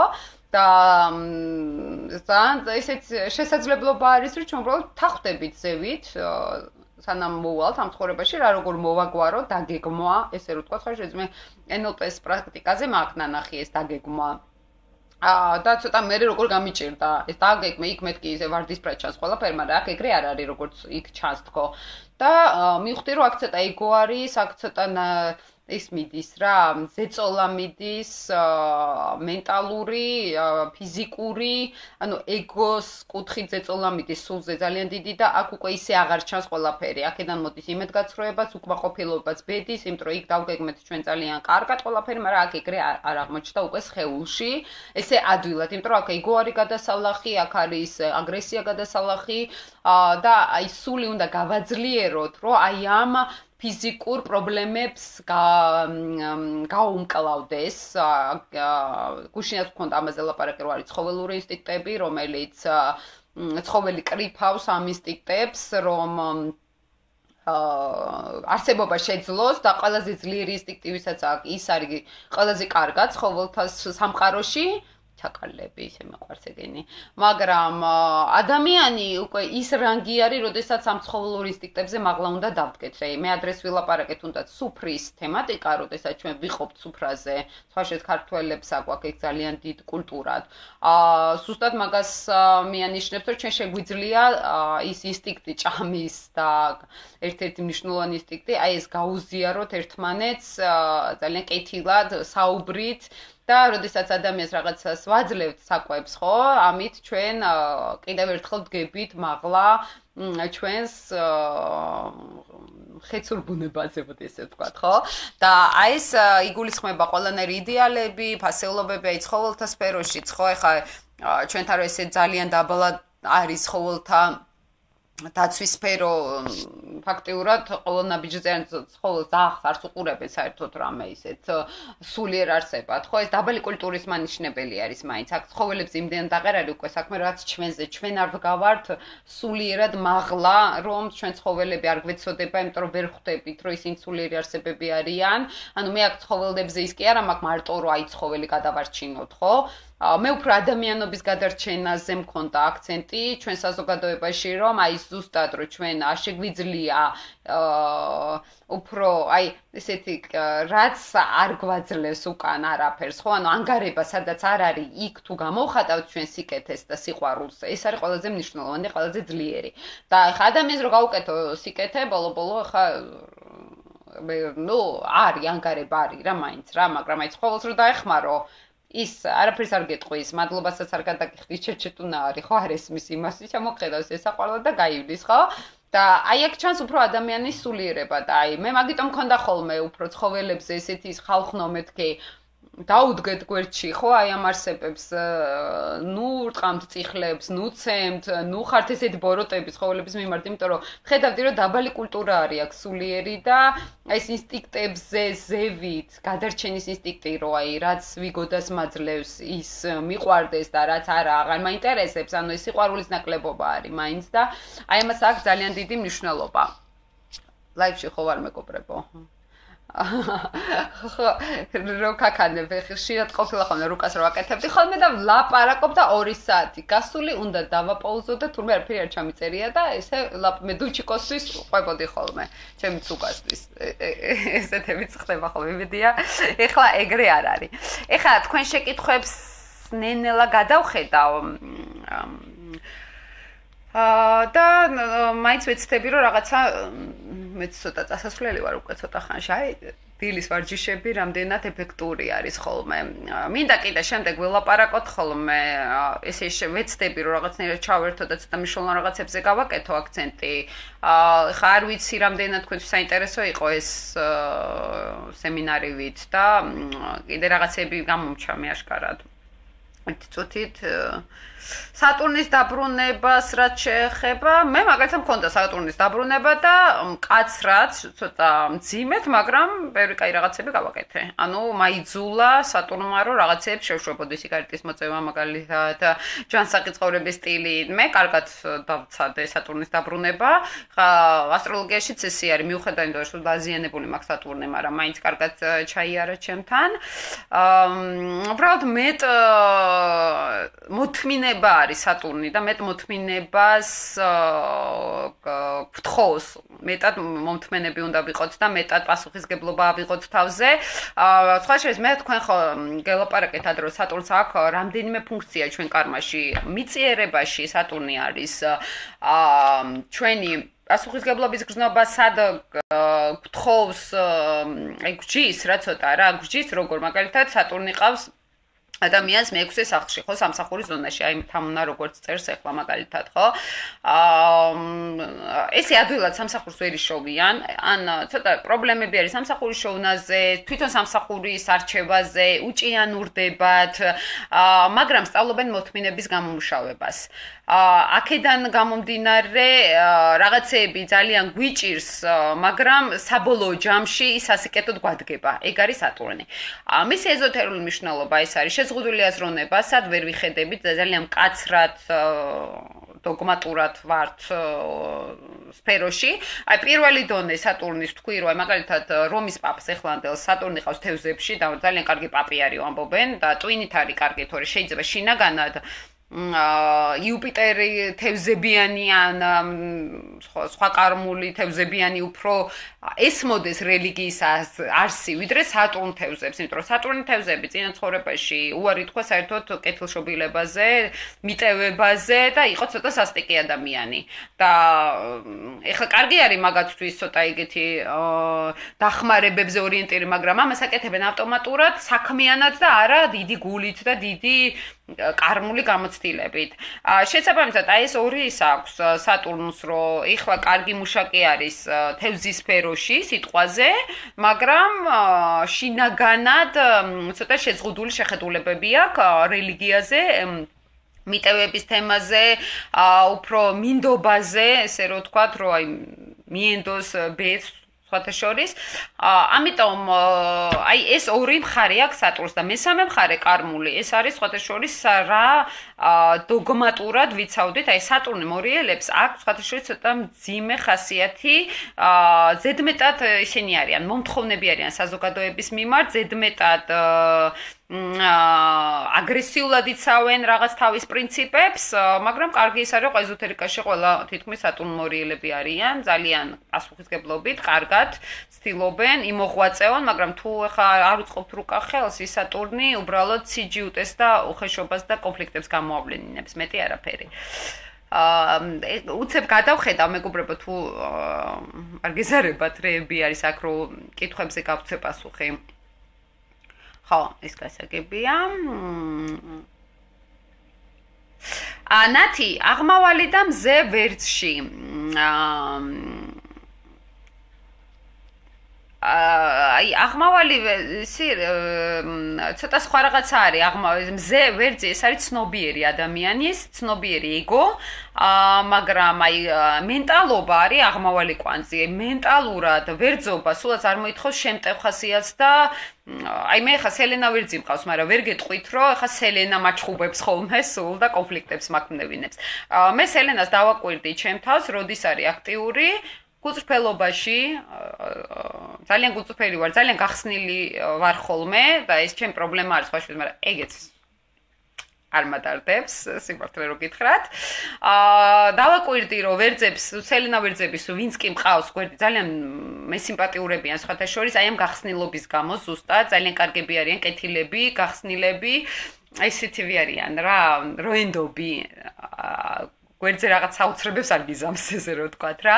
მაინც არის ვერდში ეს გახსნილობა, ნუ შევხედავთ რომ მაინც ამის კონფლიქტური და დაპირისპირებების მოყვარული არის ვერდზე. ეს არის გულუბყვილო, გახსნილი ადამიანი, უშიშარი და არც კრიტიკის ეშინია, არც აი ხშირად მithქვამს ესა უთქვიათ ჩემთვის რომ რატო არ გეშინია რომ ვინმე ბოროტად გამოიყენოს, ჯერ მე რომ მაგას მეტყვი ან თუ ვინმეს რამე ბოროტად შეუძლია გამოიყენოს, ეს მე ვარა. ჩემი ლილიტის ვატრანი და მეცინება ხოლმე ვარა. მეორე ეს ხრივ აი არეშინიათ რა ვერძებს ესთება რა რომ აი რაღაცნაირად ვინმე რამე ბოროტად გამოიყენოს იმიტომ რომ რაღაცა რომ მოხდეს ორ წუთში აღარ ახსოვს და თავი დაიწყებს ცხოვრებას. ანუ თავისი ოპტიმიზმი აძლევს ძალას იყოს გახსნილი. აი ეს ცოტა სხვა არის. მზით ვერძები, ცოტა აგრესიულები არიან და შემტევები, მაგრამ გულუბრყილობაც რაღაც ის აქვს იკეთე, მაგრამ მაინც უფრო აგრესიული ფორმით ავლენენ და აღმავალი ვერძიან, იუპიტერი ვერძიან, სელენა ვერძი უკვე ცოტა სხვანაირად ავლენს თავს, უკვე კეთილშობილად, გახსნილად, ოპტიმიზმი არის ძირითადი და ეს ოპტიმიზმის ხარჯზე არის ზუსტად რომ არის შინია არაფრის, იმიტომ რომ ვერაფერი ვერ დაანგრევს მას. აი მაგალითად აღმავალი სასწორი, ხო? ეშინია საზოგადოებაში რაღაც რაღაცა ადგილი დაკარგოს და ამიტომ ცდილობს რომ რაღაცა წონასწორობა შეინარჩუნოს, მაგრამ ეს ვერც არ აინტერესებს, იმიტომ რომ ის საზოგადოება არის თვითონ ესე რომ ვთქვა, კაი კუთხით ვამბობ. აღმავლის სასწორის გავეცი ამას პასუხი, ეხლავე რას ნიშნავს ასიდენტის შეერთება მთვარესთან? მთვარესთან შეერთება, ხა ასიდენტი ეს არის იმიჯი ჩვენი, ეს არის ჩვენი სხეული, თვით გამოხატვის საშუალება და ხალხი როგორ გვიყურებს. ხა მთვარე იცით, ცოტა კიჩხიბული ტიპაჟი არის, ცოტა ემოციური და ცვალებადი ხასიათი აქვს, ცვალებადი ბუნება. აი ეს ახასიათებს ამ შეერთებას, რომ იმიჯი გექნებათ მთვარესნაირი ცოტა ცვალებადი, ცოტა ემოციური, აი შეიძლება ასიდენტი კირჩხიბის რაღაცა დაკკრავდეთ, მაგრამ აქ მარსიც მოდის. მარსი ეს არის აგრესიული, აქტიური, ვერძული, ანუ ცოტა მრავალფეროვანად ავლენთ თავს საზოგადოებაში და ამიტომ ძალიან ისე ცოტა გაუჭirdებათ ვინმე ჩამოაყალიბოს, თქვათ აი ეს გარეგნობა აქ ამ ადამიანსო, იმიტომ რომ ასპექტებს მთვარეს ნიშნებს, ოდიაკოს ყველაფერს ძალიან მნიშვნელობა აქვს ხოლმე ასიდენტის აა შემთხვევაში. აა გავაგრძელებ. ძალიან დიდი მადლობა თბილისის სიტყვებისთვის, მეგობრებო, მე ისეთი კარგი რაღაცები წერია ხოლმე. აა აღმავალი ტყუპი. თამთამ აა მე ცოტა ისეთი პირდაპირ ვარ ხოლმე და საწყენად არაფერი არ მიიღოთ ტექნიკურად ისე ვლაპარაკობ პირადის გარეშე ხო ეს это только бизнесо რო იტყვიან რა დაღმავალ მშულდოსნებს ახასიათებთ ცოტა ერთი ნეგატივი ფილოსოფოსობა უყვართ იქ სადაც მაინც-მაინც არ ესმით ხოლმე არ ესმით რას ნიშნავს ეხა განა საქმე არ ესმით აი მყავს ან დაღმავალი მეცხრე სახლები ან დაღმავალი მშულდოსნები და აი ფილოსოფოსობა უყვართ რა რაღაცებს გაისკვანჩებიან ხოლმე რაღაც სასწაულებს ლაპარაკობენ და ვიდები რომ შეიძლება ეგრეც არ იყოს, მაგრამ შეიძლება ეგრეც იყოს, მაგრამ რაღაც ისე ყვებიან, ფილოსოფოსობა უყვართ ესე რომ ვთქვა. და ეს ბევრ შეცდომებს აშვებინებთ. თან კონფლიქტურობა ცოტა ხასიათებს შულდოსანს, იმიტომ რომ ძალიან პირდაპირი არის, ბავშვური არის ძალიან შულდოსანი და პირდაპირ აი ვერც ტვინავს რაღაცებს რომ აგრესიულად ეუბნება ხოლმე ხალხს და აი ამას თუ გაითვალისწინებენ რომ ეს ფილოსოფოსობა კი არა აი უფრო აა კონკრეტულ საკითხებზე გააკეთონ ხოლმე კომენტარი აი კონკრეტული საკითხი რა არის? ხა ტყუპი რა საკეთებს ხო? დაღმავალი ტყუპი. იმან თქვა ამან თქვა. და არა ის ეხა მე ესე ფიქრობ და რომ გადაიწებენ აღარ გაჩუმდებიან ხოლმე. ხო? და აი ეგ მე ვფიქრობს მაგივრად ჯობია თქვან ხოლმე ან მენტალობას გულისხმობ თორე პრაქტიკულად ეხა ესე ილაპარაკეთ თქო კერგვარ ვამბობ. მენტალურად აქვს ეს პრობლემა რომ აი ძალიან აზრებში გადადიან და არ აქვს კონკრეტული ინფორმაცია. ტყუპი ძალიან კონკრეტული არის ეს ამან თქვა ის იმან თქვა და აღარ ფიქრობს დანარჩენი რატო თქვა რისთვის თქვა იმის გარჩევა იმის ფილოსოფიური ანალიზი? ეს უფრო აღმავალმა მშულდოსანმა უნდა გააკეთოს უკვე იმის ანალიზი უნდა ისწავლოს რასაც კითხულობს. და დაღმავალმა მშულდოსანმა უნდა შეწყვიტოს უკვე ფილოსოფოსობა და უფრო კონკრეტულად ილაპარაკოს. თავისი აზრები ნაკლებად უნდა აფქვიონ. ზოგადად სფეროში იქნება თუ რაღაც ახლა მთელ რუკას გაჩენ შეიძლება იუპიტერი წავდეს მშულდოსანში და უკვე სხვანაირად ჩანს ხო ეს ყველაფერი და აღარ იყოს უკვე ესე, ანუ მაინც რუკას გაჩიან, მაგრამ ზოგადად ლაპარაკობ, ეს პრობლემა ნამდვილად აქვს, რომ ძალიან მიედმოედებიან ხოლმე აი თავის აზრებს, როცა ეს აზრები მე რო დავყურები ვარ, ზედაპირული არის და არ არის მაინც მაინც გამტკიცებული ინტელექტუალურად. ეხლავე აა კარიერაში მზით და ლილიტით მშვილდოსანი მეათე სახლიანი ნუ ტრამპი აგერა ლილიტი მშვილდოსანი ჭკვაზე არ არის ხო? რა ის პრობლემა შეექნა გულაოს ტიპი ხო? აა საერთოდ კარიერაში ერთ რამ ნათი გაითვალისწინე. ლილიტი მეათე სახლის პრობლემა რა არის? ძალიან ცუდად ანაწილებენ კადრებს კონფლიქტები ახასიათებთ ხელმძღვანელ პირებთან აა უფროსებთან მუდ მუდმივად უკმაყოფილოები არიან, მუდმივად ან ცუდი უფროსები ხვდებათ და სუ პრობლემებს უქმნიან ხოლმე და მეათე სახლი ის არის, რომ თავისი კარიერული სტატუსი, აი მეათე სახლს რო ვამბობთ ხოლმე, ხო, MC-ს. აა ეგ არის MC ჩვენთვის, რაც კარიერაში გვაქვს ჩვენ, რა გვინდა რომ ჩვენ სტატუსი გქონდეს ცხოვრებაში, ხო? ზოგს მაგალითად პირდაპირ უსაქმურობა უწვის, საერთოდ აფერი არ უნდა. მისი სტატუსი ეგ არის, აფერი არ უნდა. ანუ რაც მეათე სახლი არის და მისი მართველი სად არის, იმ სტატუსით გვინდა ჩვენ ვიყოთ. რადგანაც შამთვარი არის ილუზია. აა მაინც კარგი სტატუსი არ აქვს ხოლმე ან კარგი იმ სტატუსისკენ შეცდომებს უშვებენ კარიერულ გზაზე ხშირად.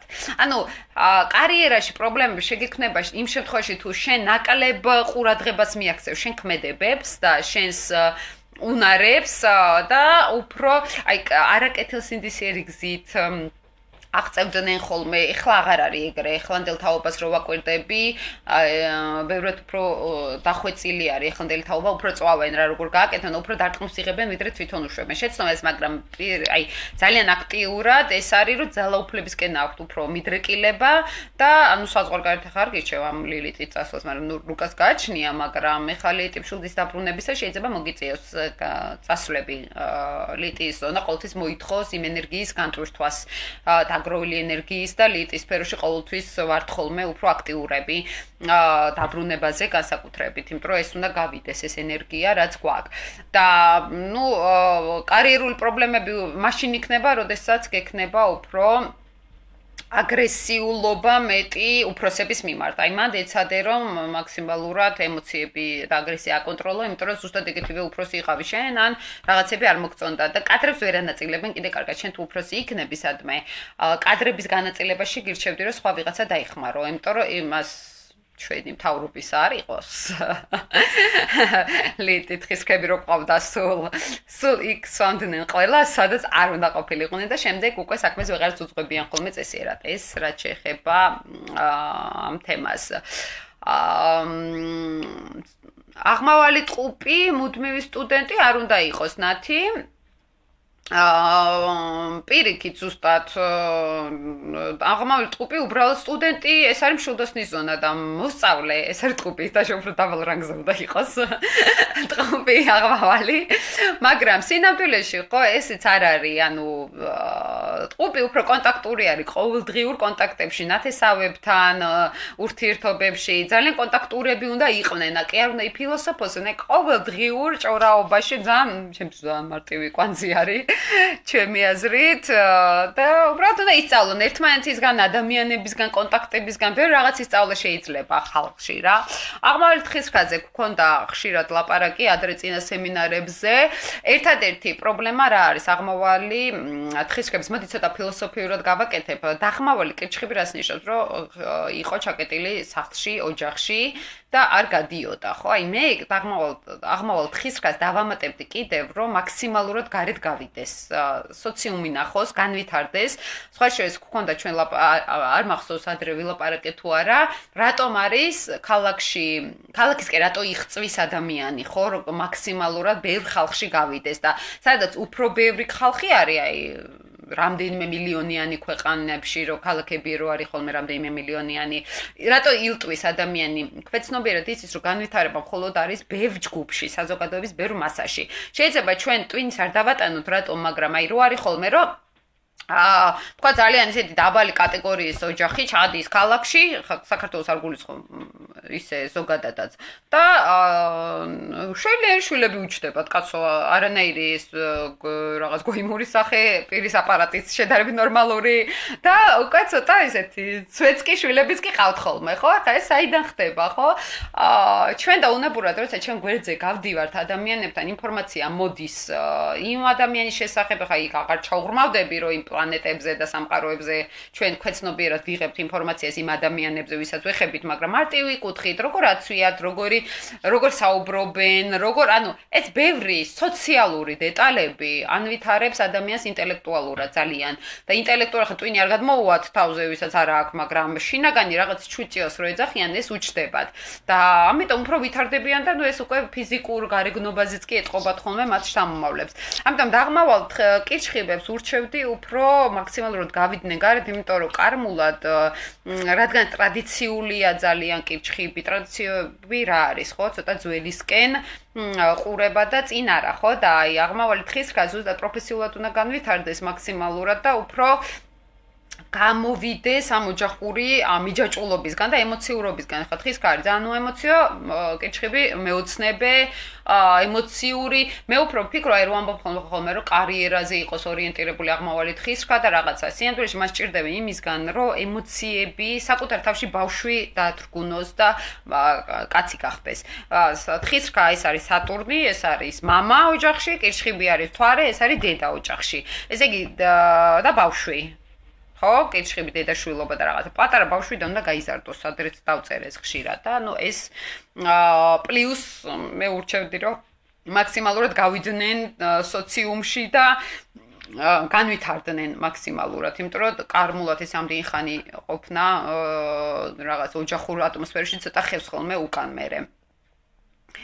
აა ეხლავე კიდე და ცოტა დავიყალე თან მეჩქარება და ცოტა ხანიც გამიძელეთ ცოტა ხანიც და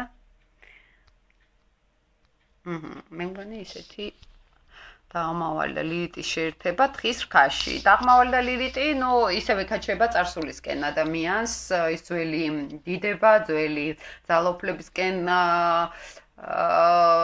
ტოლვა სიჯიუტე, ძალიან ჯიუტები არიან თხის რქები, არაფრის გაგონება არ უნდათ ხოლმე, როგორც წესი და ცოტა უხეშობა. აი ამისგან უხეშობა როგორც აი მკაცრად იტყვის, ისეც გულს მოგიკლავს. აი ესეთი რაღაცები ცოტა დასაბალანსებელია და ნუ აუცილებელი არის უკვე კრჩხების ზონაში აქტიურობა მაქსიმალურად ორმაგად, იმიტომ რომ ლეიცაც უფრო დაამუშავებს ამითი ადამიანი.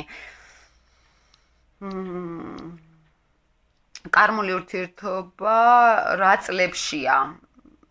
აა ხო, ამაზე მე მგონი მაი ჩვენ ვისაუბრეთ, კარმული ურთიერთობის წლები, აა ეს არის უფრო ისეთი მომენტი, როდესაც გვარტყამს ჩვენ რაღაცა გამოცდილება, ხო? ნუ ეს 26 წელი, 29 წლის ასაკი, შუალედი ჩვენ ვილაპარაკეთ ადრე, ყველამ ვიცით ეს კარმული წლები. აა მაგ დროს უფრო არის ხოლმე მნიშვნელოვანი ლილიტის დაბრუნებაზეც არის მნიშვნელოვანი რაღაცა გამოცდილებები. ლილიტის დაბრუნებაზე არის უფრო ილუზიები, ის ქვეცნობიერში რაც გქონდა, რა შიშები, მიჯაჭულობები, ის რეალობაში გამოდის და კიდე ერთი შანსი გვეძლება გადავლახავთ ჩვენ ამ ჩვენში და პრობლემებს თუ ვერა. აა ყოველთვის აი ესეთი კარმულ წლებში არის ხოლმე ის მომენტი ძველი პრობლემები ჩვენში, ქვეცნობიერში ჩაბუდებული პრობლემები ამოდის ზედაპირზე და რამდენად გადავლახავთ ამ ყველაფერს ამაზე არის ხოლმე უფრო მითითება და შეიძლება ხა სულაც არ იყოს ეს კარმული ურთიერთობა რომ არიქა წინა ცხოვრებიდან. ხა მაგასაც ვამბობ რომ არ არის ეს იმდენ მნიშვნელოვანი წინა ცხოვრებიდან იყო თუ არ იყო. თავარი არის ეხლა ამ მომენტში რას გვეუბნება ეს ადამიანი რას გვასწავლის ამ კუთხიდან როდესაც ვიცით ორიენტირება გვაქვს ეზოთერული ცნობიერების და მენტალობის. უფრო მეტად ადვილად ვიგებთ შემდეგ ვისთან როგორ უნდა ვიურთიერთოთ. არ აქვს მნიშვნელობა ამას წინა კარმულ თემატიკას. სისხლს გიშრობს, გამწარებს, შო უკვე აღარ აქვს მნიშვნელობა წინა სისხლს გიშრობდა, გამწარებდა თუ რა იყო, ხო? აღარ არაფერს არ მოგცემთ ეს ინფორმაცია. ამიტომ უფრო ცოტა სხვანაირად შევხედავდი მე მაგალითად, ეხა ცოტა გადავახტები ბევრ რაღაცებს, იმიტომ რომ ცოტა დროა დამრჩა და აა აი მე ბედნიერები ვინც სულ დაწანწალებს როგორ მენატრება. ეს აღმავალი სელენა მშულდი ხალი თუ მეცხრე სახლიანი ვერ და ვერ ვიწანწალე. და ლილიტი თხის ისე მშულდოსნები ვერ ჩამოსვამდი დრინავიდან როცა დაღმავალის დღის ქაში ყავს და თან ლილიტიც. დასამუშავებელი არის ის, რომ აღმავალისკენ უნდა იაროთ და სელენას ენერგიები გააძლიეროთ. ლილიტის ყველაზე ძლიერი არაღი არის სელენა, იუპიტერი და აღმავალი კვანძი, როდესაც ვირთვებით მაგხარეს იხევა უკან ჩვენი პრობლემები, ჩვენი ნეგატივი. და ეს არის ძალიან მნიშვნელოვანი. ყოველთვის ვეცადოთ რომ ლილიტი ლილიტით კი არ დავამუშაოთ, სელენათი ან იუპიტერით ან აღმავალი და ან ზოგადად ეზოთერული პრინციპებით. ეს არის ყველაზე შედეგიანი ხოლმე. აა, განაპირობეთ, განა. აა ერთი ნიშნის ადამიანები როცა მოდიან იქ დესიდენტი თევანა ნახეთ თქვენ დესიდენტი შეიძლება იყოს ან მართველი მშულდოსნის ზოდიაქოში და აქედან იზიდავდეთ ერთი კატეგორიის ტიპებს. ჩვენ რაც მოგწონს ქვეცნობიერად ისეთებს ვიზიდავთ ჩვენ შეკვეთა არის ის ხალხი ვიზიტად რას ნიშნავს ხა 1000 ვიღაც შეიძლება შემხვდეს მე ახლობლებისგან მეგობრებისგან მაგრამ გამოხატავ დაინტერესებას ისეთი ადამიანის მიმართ ვინც მე მომწონს ხო? მენტალობით ცნობიერებით რაღაცით რაღაცით ხო? და ვიზიტად არა ჩვენ ვაკეთებთ არჩევანს სინამდვილეში და შესაბამისად მე მოდიან ეს კატეგორია ხალხის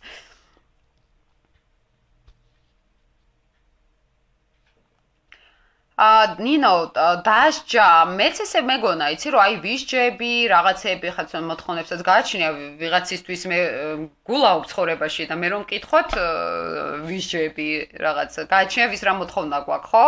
და ვინ რას ეძახით კარგ ცხოვრებას მაგრამ მეორე მომენტი რომ ყველაზე აი ჩვენ არასწორად გვაქვს გაზრებული კარგი და ცუდი. აი ეს გვაქვს დაყოფილი. სიმბოლოში არ არის ეგრე კარგი და ცუდი. კი მატერიალურ ცხოვრებაში გვარტყამს რაღაცებში ცხოვრება მაგრამ ყველაზე მეტად ცუთავდება სული, როდესაც ვართ ცუდად. როდესაც ვართ კარგად, ხშირად ჩდება, აი რო გითხარით რა, როცა მეუღლესთან ხარ და are რომ იდის მე რეგრძნობ რომ ვა მეშინია ხა მარტო ყოფნის. ხო ესე იგი თუნდაც რა კარგად ყოფილვა აი მან გაჩნდა უკვე შიში. შესაბამისად როცა კარგად ვართ აი მან ვითარდება ყველაზე მეტად ხოლმე ნეგატივი სულში აგრესია რომელიც შემდეგ ცხოვრებაში ეს პრობლემური გახდება და მაიწნაკლებად კურნალობს სამყარო და როცა გვაქვს პრობლემები ჩვენ უნდა მივიღოთ ეს როგორც შეიძლება წინ ცხოვრებაში იგულავა ადამიანმა და ხამ ცხოვრებაში წმენდვა მიდის ხო? ანუ მაინც მადლიერებით და მაინც იმით რომ ეს სულ სჭირდება, როდესაც ჩვენ უფრო ბრაზდებით, ესე იგი ეს წმენდვა უფრო ნაკლებად ეფექტურად მიდის, იმიტომ რომ ჩვენ არ ვიღებთ ამას. აი, ამან და ამ წებინა თავიდან სხვათა შორის ეს ასტროლოგიის და ვაფშე ეზოთერულ სამყაროს მიმართ დამოკიდებულების გაზრდა, რომ მივხვდი რომ რაღაცა აი ამ ცუდში და კარგში ესე არ არის, რომ ესე არ უნდა დავყოთ, რომ აი მე გვიჭირს, აი მე ცუდად ვარ და ვიტიროთ. ამით უფრო ვახანგრძლივეთ ამ ცუდად ყოფნას და მაქსიმალურად უნდა ვეცადოთ, რომ ის უნდა მივიღოთ, რომ ჩვენ რაღაცა რო გვერთმევა და გვიჭირს და გვტკივა, ეს ჩვენთვის აუცილებელი არის. ხოლოდ ეს არის სწორი აზროვნება ქრისტიანულიც არ აქვს ეზოთერულზე ხარავისის არ არის ეს საკუთრება, ხო? ეს არის ზოგადად გამოცდილებით სამყაროს, ხო, კაცობრიობის გამოცდილებიდან მიღებული სიბრძნე, რელიგიაც იქ სიბრძნე არის უკვე ნახეს რომ ეს რელიგიური პრინციპები ხშირად ამართლებს და ჭრის და ეს გამოცდილება მოგცა ყველაფერი და ამიტომ ხშირად ეს ცუდი ნეგატივი რაც უფრო მალე რა კარგად მივიღებთ ადვილად და ღმერთმადლიერები ღმერთმადლიერები ვიქნებით და ბედის რომ ჩვენზე ზრუნავს მე თუ მკითხავთ როცა მიჭირს ყველაზე მეტად მაშინ ზრუნავს სამყარო. ჩემზე და უყვარ ვარ ვიდრე როცა არ მიჭირს. ასე რომ აა ყველა კუთხით მადლიერები უნდა ვიყოთ. ეს არის ეზოთერული აზროვნებაც და ქრისტიანულიც თორე ხა. სულ კარგად ვიყოთ და ვაიმე ღმერთო ცუდი მაშორე ეს დაწყევა არის ადამიანის მე თუ მკითხავთ ხო? იმიტომ რომ ეს ცუდს რო აშორებ მე ისეთ ცუდი შეიძლება მე უკვე დაიმარტოს რომ უკვე ვეღარაფერმა ვეღარ უშველოს და ვერაფერმა ვეღარ დააყენოს ფეხზე. ანუ ეს პრინციპები მინდა რომ კარგად გვესმოდეს ყველას. ღამეც ვლაპარაკობ თორე შინაგანად მენტალურად ცოტა ძნელი ამის მიღება, მაგრამ всё, მე მგონი ხო, ეხა ბოლოგ იმას ბოდი შეთ დამოვიწყარო, ჩართული ვარ. მმ აა, გასაგებია. მაშინ სხვადასხვა ყოფილა, მაგრამ ესე იგი პერიოდებში ეს უკვე რუკიდან უნდა ინახოს თეონა. აა, ვინები მოდიან, ანუ თუ მაინც უფრო ზაფხულში ლომები, მე აა, შვილდები, შაშანთხები, ესე იგი რაღაც ეპოქალური ესენი გაქვს ხოლმე. მე ვაკეთებ ესე. სამი თვე შეიძლება გავაკეთო ხოლმე ერთი საჭმელი. ყოველ დღე, დღეში სამჯერ და შემქმარი ხსენებს ხოლმე აი ჩახხბილის ეპოქა რო გქონდა. ესეთი ეპოქები შეიძლება გაქვს თეონა პარტნიორების ხრი. ადილი დასამახსოვრებლები იქნებიან. არ ვიცი, ვერ გეტყვი რო კავანტაინახოს. მეგობრებო, ძალიან დიდი მადლობა და ძალიან ბოდიშით ჩემი ესეთი მერწყოლური ტყუპური ვერსული ჩარტვისთვის. შემოგეჭერით უცე მოლოდნელად, მაგრამ ამდე ლოდინს ჯობია ხოლმე ეს სპონტანურად გავაკეთო, იმიტომ რომ არ დამადგა საშველი. აა და უკვე ჩემი წასვლის დროც არის. ძალიან მიყვარხართ მეგობრებო, ძალიან დიდი მადლობა ყველაფრისთვის, გამხნევებისთვის, გვერდში დგომისთვის.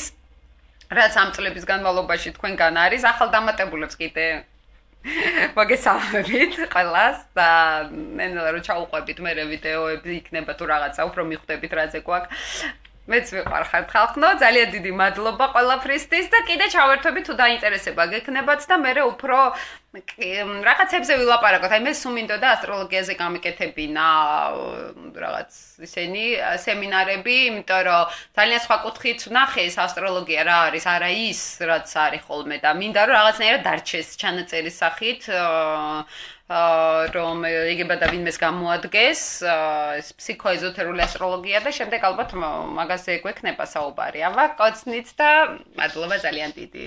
ეხა იმედია შეინახება, ხო? Ha.